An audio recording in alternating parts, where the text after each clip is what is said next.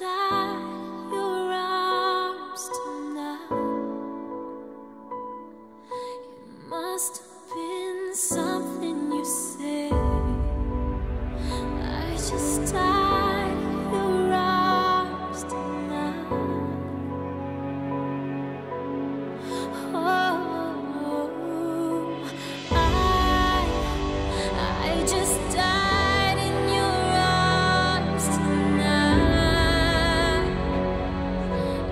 lost.